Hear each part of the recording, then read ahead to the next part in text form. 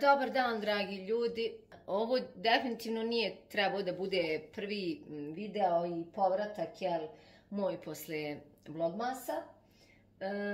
međutim, ja već dva, tri dana e, posle ove velike tužne nesrećne priče u Turskoj koja se desila, pretpostavljam da dosta vas zna jer jel, cijeli svijet bruji o tome i, i Turska je u crvenom alarmu e, već koliko treći dan. I dosta, dosta vaših poruka sam dobila, jesmo dobro, kako smo, jer znam da dosta vas koji me pratite na YouTube-u nemate Instagram i onda nemate jeli ova informaciju o meni. Mi smo, hvala Bogu, dobro. E, jer smo mi još u Bosni, mi smo na zimovanju, barem, kako da kažem, fizički smo dobro, psihički nas je ovo baš, baš, baš potreslo i nekako već 3-4 dana uh, pokušavam da, da ne gledam, uh, da u stvari manje gledam sve to što se dešava na na vijestima turskim koju stranicu da otvorim upravo, upravo je jel, spašavanje tih jadnih ljudi. E, kao što sam rekla, fizički smo dobro, ali ovaj, psihički nas je jako, jako pogodilo. Nekako nemam, nemam snage puno da pričam o tome, samo sam željela da vam se javim, željela sam da kažem E, da smo, da smo dobro i zdravo i da moj povratak je trebao da bude sa super veselim videima koji smo mi već pripremili, um, počevši od njihovog rođendana, boravka ovde, onda jahorine da vam pokažem apartman jer sam ranije i pričala o tome da pravim ovde. Međutim, i, osjećam potrebu i mislim da jedan e, kratki video dužna sam vam da vam kažem da je moja porodica dobro, da je i Metinova familija dobro, da se niko nije e, zadesio i niko ne, ne stanuje u, jel, u tih deset e, nastradalih gradova. Mislim, šta da kažem, kad, kad se čovjeku desi ovakve stvari, mislim, jeli, kad se svima nama, kad smo svjedoci da da ovaj da nema apsolutno nikakve garancije za sutra, onda se čovjek zapita zašto se brine o nekim nevažnim, trivialnim stvarima u životu, kad, kad smo zdravi, kad imamo krov nad glavom, kad su nam e, djeca živa, zdrava i e, u životu. Znači, jako me pogodilo. Mi smo na planini i e, ovdje je minus možda nekih 15-20 i pitam se za ljude koji su i dalje pod ruševinama i da je minus 8 i da se to sve desilo usred noći, jeli, e, uhvativši ljude nespremne u krevetu, e, kako je njima. I svaki video koji ispratim, e, koji pogledam, jeli, e, kad se spasi novi život, ne znam da li bi, e, da li bi plakala ili, ili bi se radovala, jer toliko tuge, toliko, uh, shvatite da su ljudi bespomoćni u takvim situacijama. Zahvalna sam i stvarno mi je srce puno što je cijeli Balkan odreagovao i Bosna i Hercegovina, Srbija, uh, Republika Srpska, Crna Gora, um, Hrvatska, zatim zemlja Evropske unije, jer znam koliko je bitno uh, u tih 48 sati E, da se, da se ljudi izvade i da im se pruži pomoć. Evo sad je već prošlo 40 sati i jutros čim sam ustala pogledala sam naravno vijesti gdje sam vidjela da su spasili blizance od godinu i po, da su izvučeni živi i zdravi posle 40 sati. Ljudi, ja vam ne mogu opisati, znači, ne mogu opisati vam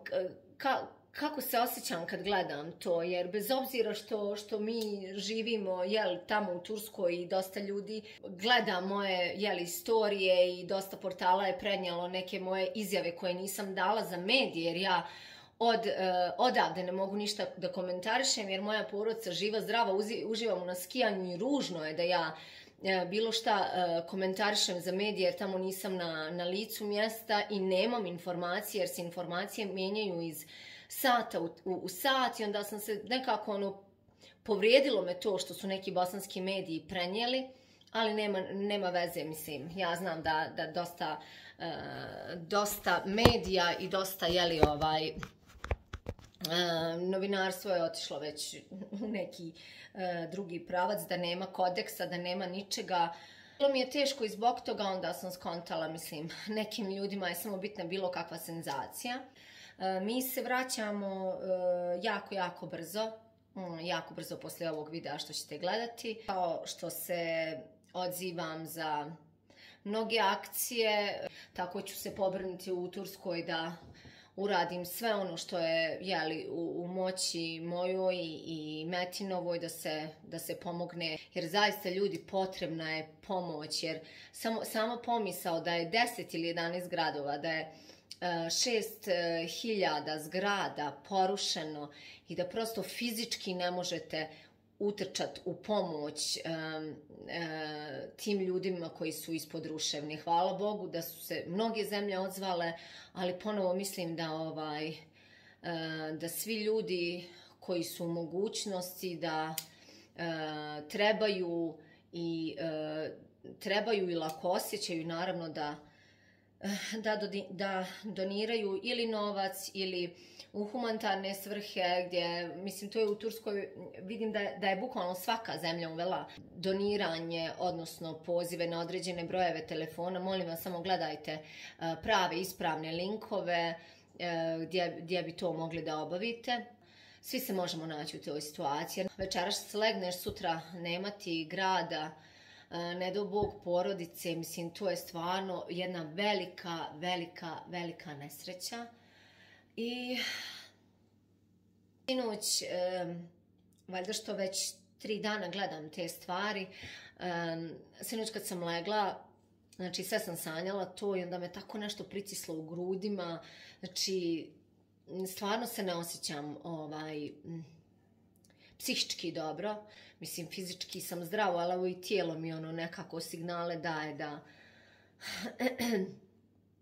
da moram da, da, da, da skrenem misli. E,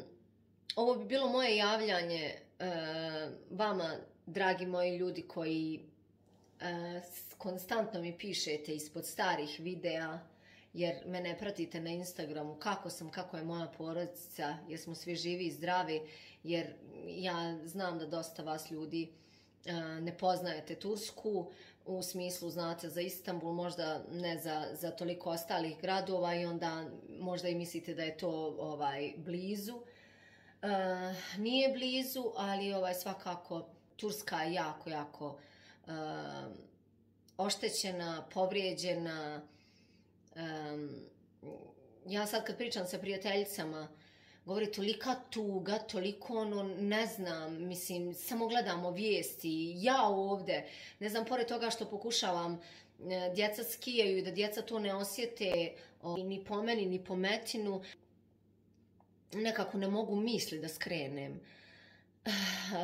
nadam se da će što više ljudi biti izvučeno i nadam se da će se ljudima koji su preživjeli pružiti adekvatna pomoć. U to sam sigurna zato što je Turska jedna zemlja koja svojim građanima uh, daje kako ono što im je potrebno. Tako da, eto, samo Boga molim da što više ljudi se izvuče, jer su tu sati bitni. Ja ću ovdje da završim ovaj video. Vidimo se uskoro i uh, poslije um, ovih događaja nastavit ćemo tamo gdje smo stali. E, ljubim vas i volim i hvala vam zaista što e, što, što me pitate uh, jesam dobro ili je moja porodca dobro.